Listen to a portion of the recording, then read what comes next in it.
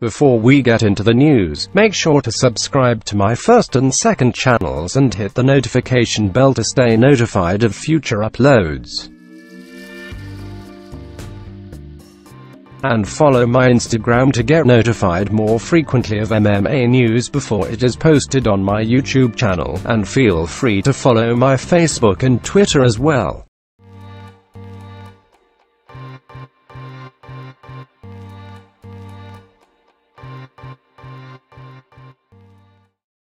To start things off, Dana White confirms Donald Cerrone will be Conor McGregor's comeback fight opponent in January of 2020 at UFC 246 at the T-Mobile Arena in Las Vegas. Now leading up to this, we have had McGregor lose to Khabib at UFC 239 after his famous dolly incident where he literally threw a dolly at Khabib and his team that was residing in the bus. Also, we have heard about McGregor and sexual allegations uh, relating to, uh, to women in the press, coupled with him punching an old man in a bar. And now, as we have witnessed, McGregor come to Russia and announce his return date, coupled with promoting his Proper 12 whiskey. And shortly after, we have heard about Russians invading Conor McGregor's hotel in Russia at the Ritz Carlton, coupled with reporters throwing water bottles at him in press meetings. And notably, one of the biggest questions everyone had after McGregor's announcement at the Russian press conference, which is who is Conor McGregor's next opponent? And now we know via Dana White, it is Mr. Donald Cerrone. So, in the comment sections below, let me know if you think Donald Cerrone is worthy of Conor McGregor. Do you think he is worthy of the fame and money he might potentially get if he beats Conor McGregor, similar to Khabib and similar to Nate Diaz? And to be honest, I never knew who Nate Diaz was or Khabib was until they beat Conor McGregor or their name was in the same headline of Conor McGregor in the press. So, you know, good job to Donald Cerrone for securing this one. We have all heard um, it could have been Justin Gaethje, but you know, uh, Donald Cerrone has been in the octagon a lot, and I think personally he deserves a good paycheck. You know, he deserves it. Next, I want to talk about Dillon Danis wanting to all of a sudden fight Ben Askren.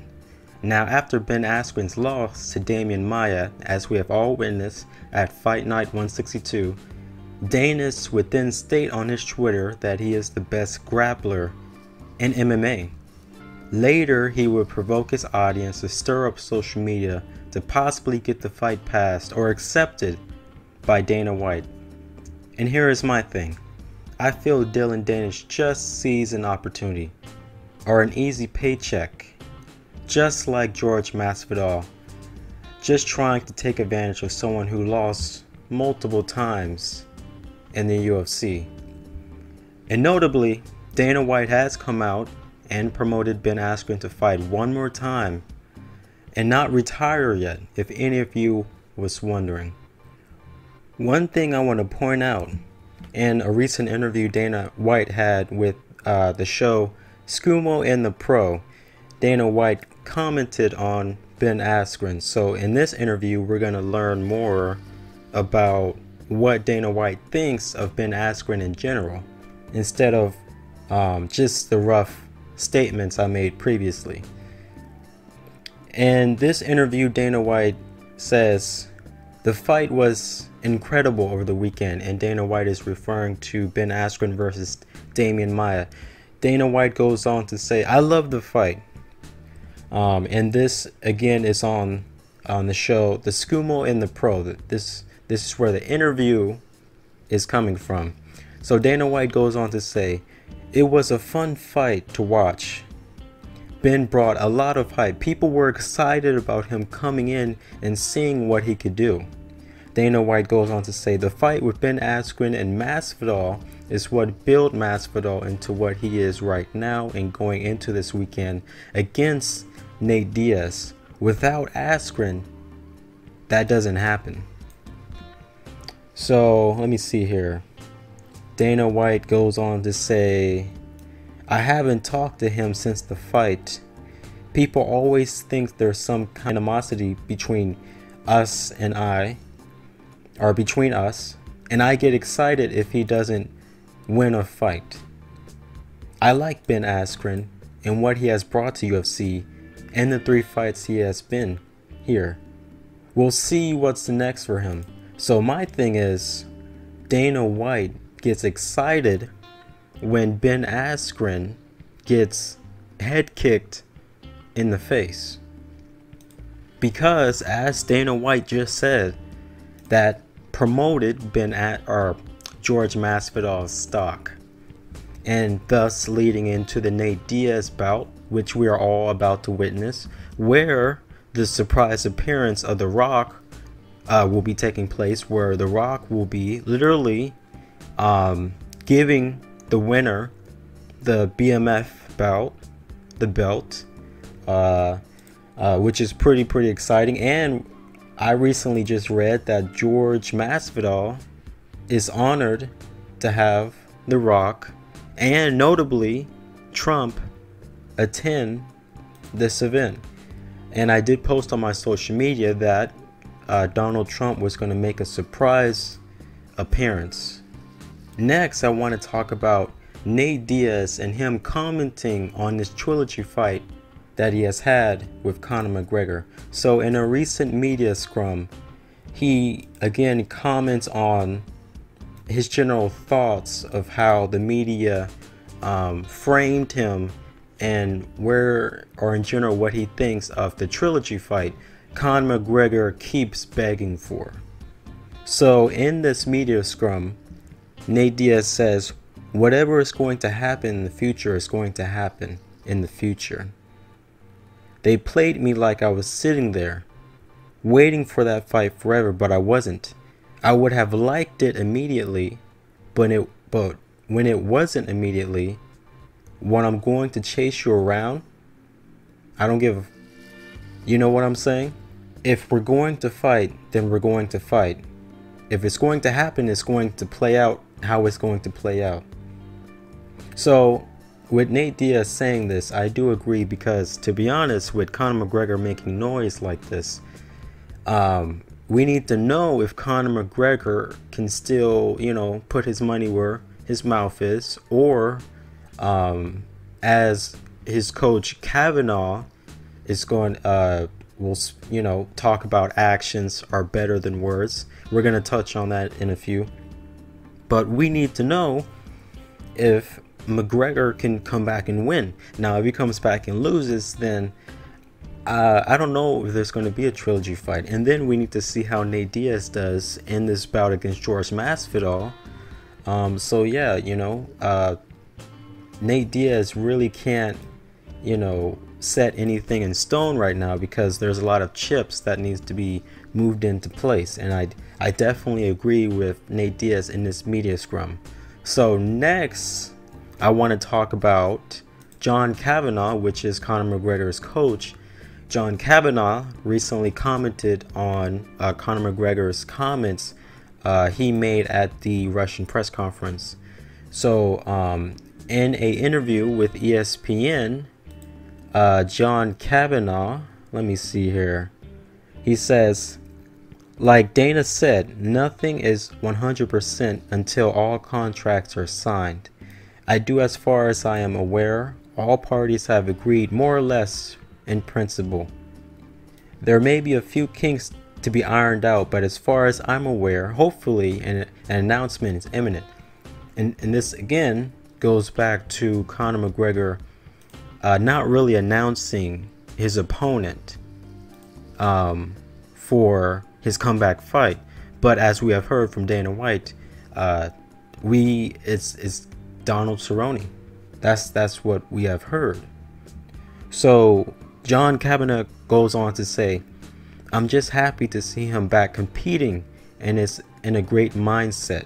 We are training away, chipping away. It is 11 weeks tomorrow and ticking all the boxes.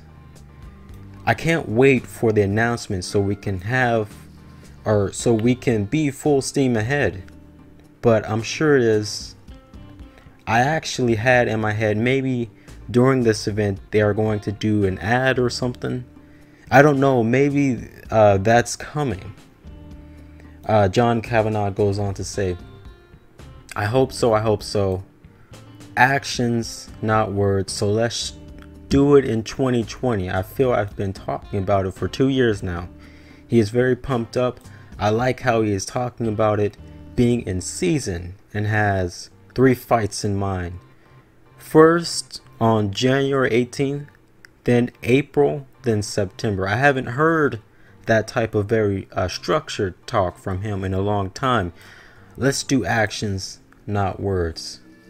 So again, I like how John Kavanagh is responding to uh, Conor McGregor's comments, and hopefully, as we have all been saying, hopefully Conor McGregor's actions in his comeback fight will hold true to his words. So, with John Kavanagh giving us those dates, January, um, what was it, April and September, um, hopefully Conor McGregor would be able to follow through with those three dates he has lined up.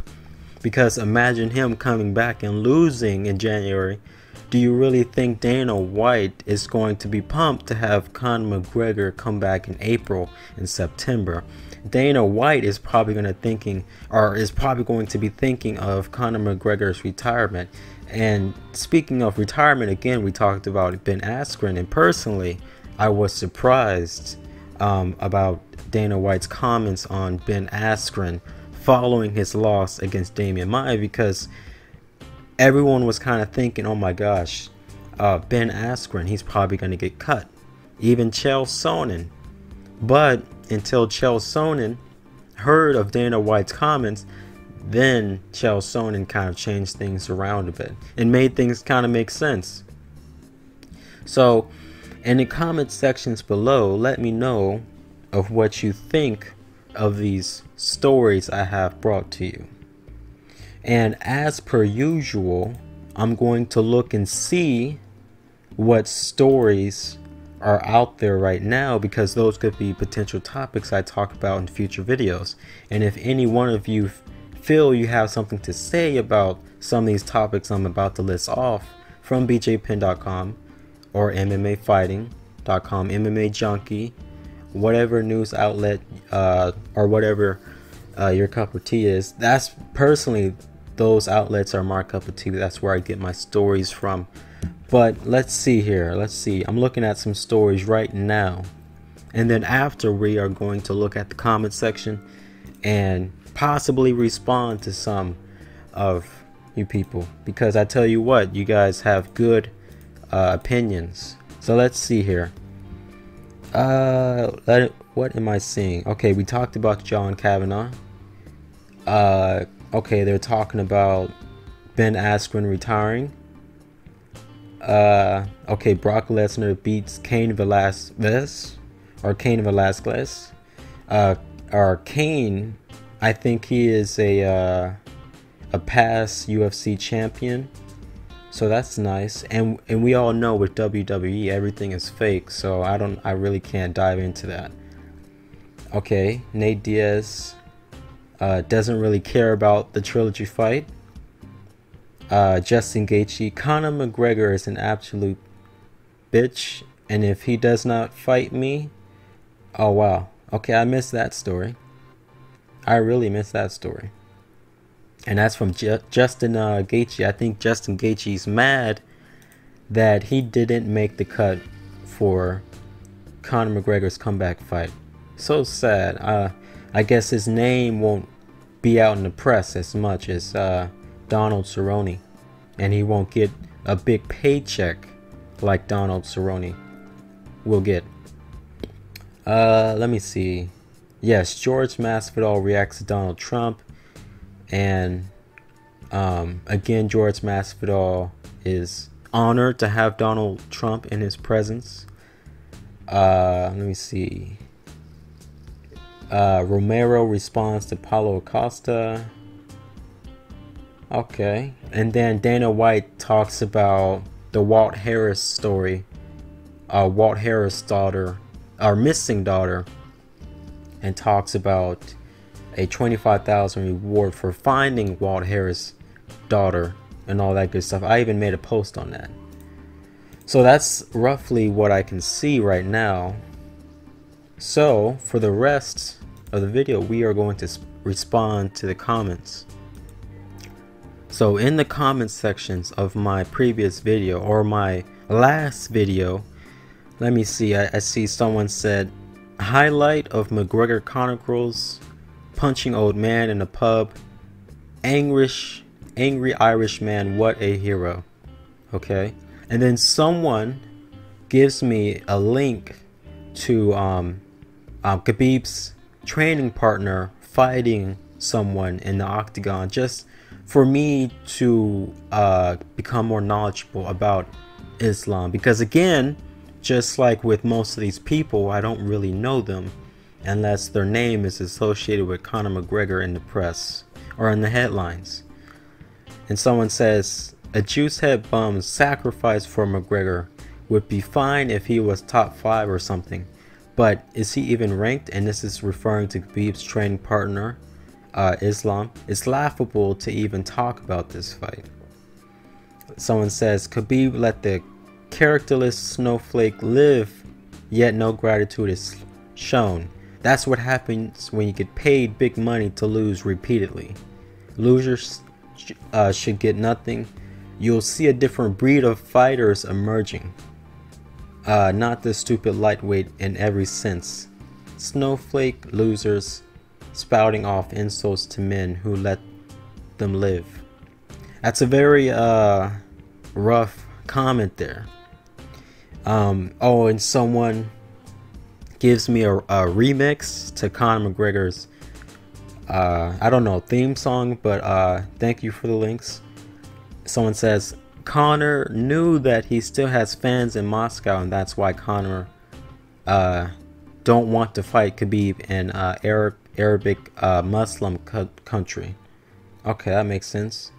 Uh, and he says heavyweight boxing rematch rematch Anthony Joshua versus Ruiz will be in Saudi Arabia. Okay, that makes sense. Uh, let me see here. Uh, people are rooting for Ben Askren. Uh, let me see here. Okay, people want Khabib to fight Conor, not Khabib's training partner. People are talking about trade or Nate Diaz trilogy fight. Uh, okay, someone says give Ben Askren one more shot. They're even suggesting to give Ben Askren CM Punk. Right? We can't go wrong with that. CM Punk uh, versus Ben Askren. Uh, instead of Dillon Danis, um, I think that would be good. Ben Askren would be more likely to win that one. Uh, let me see. Someone says Islam or Khabib's training partner would whoop Conor McGregor, and Khabib will be left to pick up the leftovers, if any. Uh, the man behind Khabib, the madman, the evil genius, um, Abdul Manap. Um, let me see. I'm not surprised Conor McGregor does not want to get beat by Khabib's training partner because if he if he does, he's over. No one would take him seriously. And then uh, that's all the comments I see, roughly. Again, thank you for the uh, the links, the engagement. Thanks for filling me in. Um, and again, I do try and respond to everyone. Oh, and thank you for the people who gave me um, tips in general for my future videos. I do really take the or take all that into consideration. Um, so thank you so much for the constructive uh, feedback or just feedback in general. Um, like I said, it's an honor to do all this and talk with the community. So if you haven't already, subscribe to my YouTube channel, follow my social media, my Twitter, Instagram, Facebook. As I've said before, my Instagram is where it's at. Um, currently, I'm very active on there. In Facebook, I will be active, or I, I am actually active on there right now, but I will be more active as far as videos on there in the future. My Twitter is just a platform where I can literally just go and see what the fighters are saying. So Again, follow me on social media, subscribe to my YouTube channel. Uh, both my channels, my first and second channel. In the future, I'll be doing something with the second channel. Uh, I talked about live streaming. I talked about posting some videos over there. Um, in the future, uh, like or dislike my video. It's whatever you feel like doing. Doesn't matter. I'm all about it. Uh, comment, leave your feedback. I will respond to you. Um, and if you have not already, um, let me see here. Stay tuned for more.